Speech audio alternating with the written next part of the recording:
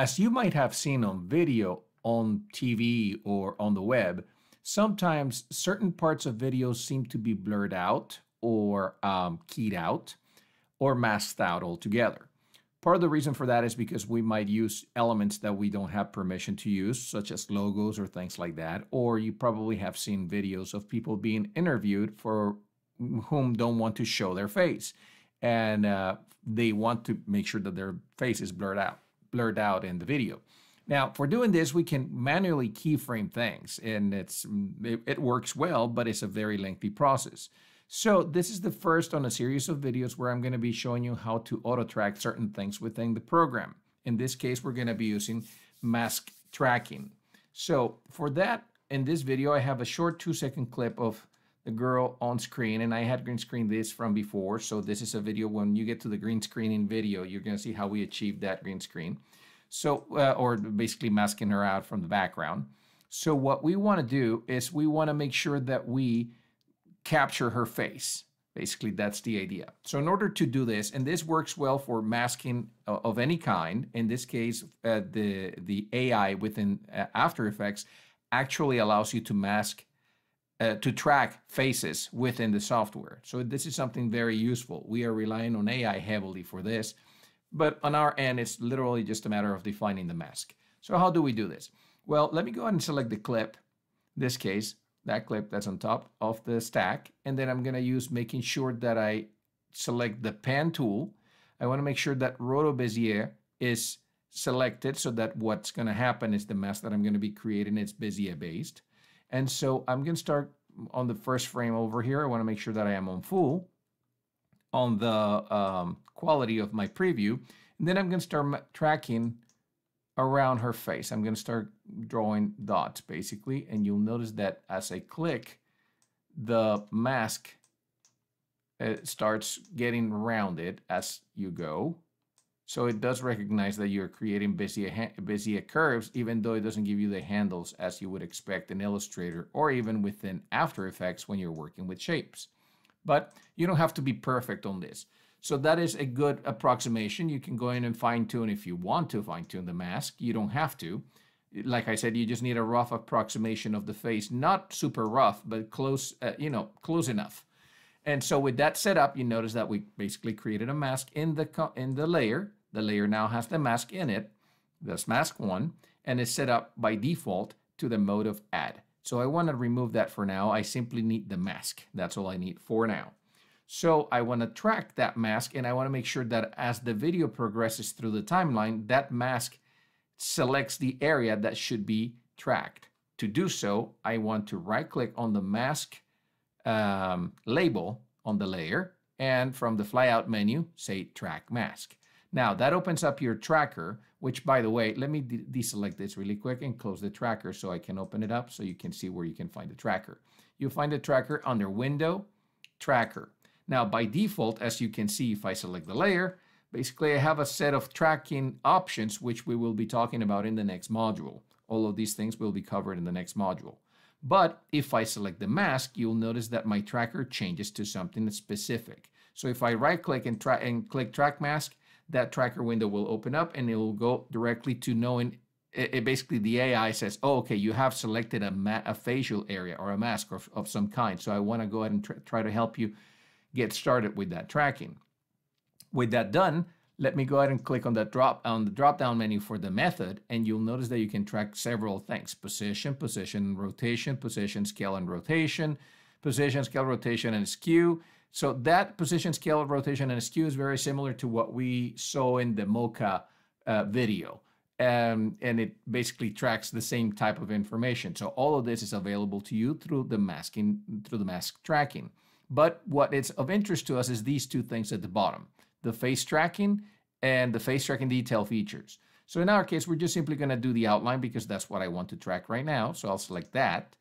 And what I want to do is I want to go ahead and hit the play button on the tracker. You will notice that this will start playing back on the timeline and the mask will start finding and following the contour, contour of the face. You will see that at some point the, the talent smiles and you'll see that the mask expands to cover basically the entirety of the face. Check this out. So I'll click on that. And it literally just tracked it down as you saw. So literally it just went ahead and followed the face. When she smiled, the track opened, uh, the, the mask actually morphed to match the actual facial expression.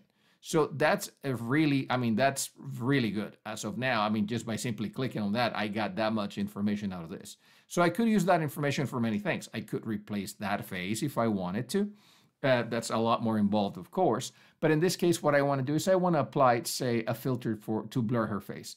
So say I want to do a mosaic filter, mosaic. So I'm going to go to my filters and my, my effects and presets window and under the filtering um, options, I'm going to start typing mosaic and I can just go ahead and from the stylized option, I want to apply mosaic to the filter. Now you'll notice that she, that basically she is uh, she has been masked out.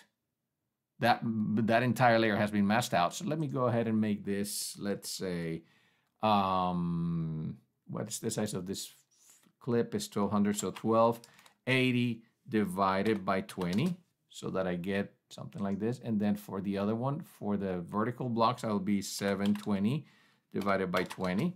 So that gives me a good blur um, and a, uh, the actual mosaic effect that basically makes everything look like little squares.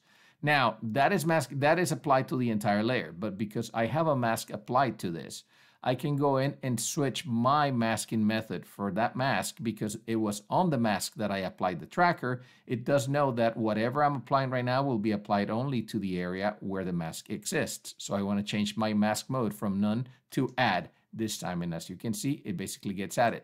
Now, you notice that everything else disappear, right? So let's go back to none again and go under effects, under our effects dropdown. And what I want to do at this point is uncollapse the mosaic option and you will notice that because we have a mask in the in in the actual layer, my uh, filters now have an option at the bottom of them called compositing options. All the filters that have the ability to be composited into something will have this new option underneath them called compositing options. And what that is basically telling you is from the information that you have in the layer, there is something that I can use specifically to affect this filter. So in this case, I want to affect the mosaic. I want the mask to be used for that filter alone. So when I do that, let me go ahead and add a filter to that by pressing the plus key. And you'll notice that I now have a listing. If I had more masks, it would tell it will give me a list of all the masks that I have available. Since I only have one and it's called mask one, it's choosing that one only. So when I do that and I go back and switch my mask from none to add, it's only going to apply the filter to the area defined by the mask, which is great because it just narrows it to that portion of the of the of the mask. Now let me deselect this and play this back, and you'll notice that basically my mask tracks her face. So it doesn't affect anything else. I can also fix this a little bit by going into the mask and perhaps feathering it a little bit so that I get a little bit more of expansion around the mask and so that it looks a little bit more natural. And there it is. So this is how you track masks inside After Effects. Like I said, you have many options based on the type of tracking that you're trying to do. If this was a logo, you might have chosen chosen position and rotation, for example, or position, rotation, and skew. Uh, skew, sorry. And those will actually create uh, the actual keyframes for you, following and transforming your mask accordingly. Now, this is not a one stop one, one shot deal. This this uh, you might have to do this several times. You may actually have to track your clip in several batches. But as you do you'll notice that it makes it a lot easier than actually track uh, you know trying to create a mask per frame in a clip that could be let's say 10 seconds long or 20 seconds long. That would take forever and a half to do almost like rotoscoping by hand. So um, mask mask tracking is an extremely useful tool within your filter arsenal.